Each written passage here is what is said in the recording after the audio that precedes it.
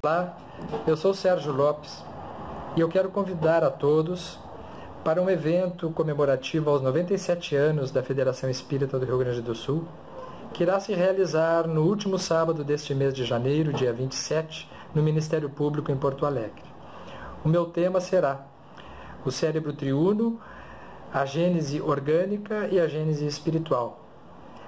Convido a vocês a fazermos uma reflexão em torno desse tema que cerca o assunto do meu último livro sobre o cérebro e a obra Gênese de Allan Kardec.